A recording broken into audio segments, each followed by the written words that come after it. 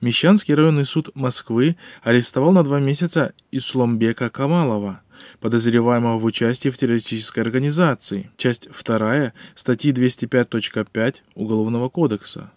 Об этом МБХ Медиа рассказал его адвокат Тимур Идалов. Да, арестовали на два месяца. Никакой мотивировки следователь не указал. Мы довели это дело до суда. Однако суд это обстоятельство во внимание не принял, сказал адвокат. Я не знаю, может найдут какого-то засекреченного свидетеля, который... По словам правозащитника Петра Курьянова, показания на Камалова дал засекреченный свидетель, некий сокамерник, который якобы отбывал вместе с ним административный арест. Камалов Ида, являясь членом международной террористической организации, Камалов якобы рассказал о превосходстве ислама над другими религиями, а также заявил, что вступил в исламское государство и ездил в Турцию, чтобы примкнуть к запрещенной организации ИГИЛ. Эти материалы следователь подал в суд для обоснования требуемой меры пресечения. Напомним, что Камалов был задержан 12 декабря 2018 года в аэропорту Внуково по возвращении из Турции.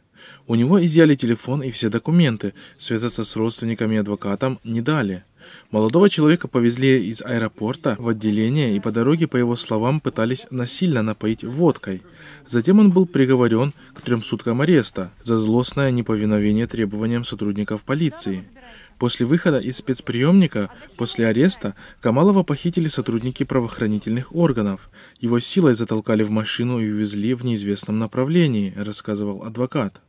В тот же день Камалова приговорили к 15 суткам ареста за нецензурную брань в общественном месте. 28 декабря после выхода из спецприемника Камалова вновь задержали и арестовали третий раз за месяц. Ему дали 15 суток якобы за то, что молодой человек ругался матом возле хамовнического суда. Рядом сотрудник полиции стоит, не понимает, нет, вот, Мы сейчас в прямом эфире, Да, отойдите, и я едет. препятствую Машина незаконному Машина лишению едет, свободы. Вы то же самое, отойдите.